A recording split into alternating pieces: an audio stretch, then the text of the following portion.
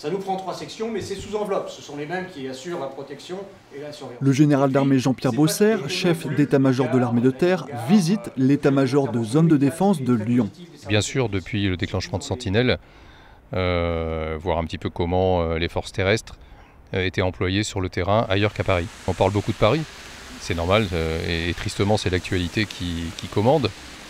Pour autant, il faut savoir que la protection des Français, elle va bien au-delà de la région parisienne. Et donc ici à Lyon, bah, c'est un exemple type. Et les soldats de la force terrestre, ils rassurent, ils protègent et en cas de besoin, ils interviendront au profit des Lyonnais. L'armée de terre contribue à la protection des Français sur l'ensemble du territoire national. Depuis le 14 janvier, jusqu'à 10 000 soldats ont été déployés sur le terrain. Dans le cadre du modèle au contact, l'armée de terre augmente les effectifs de sa force opérationnelle à 77 000 hommes.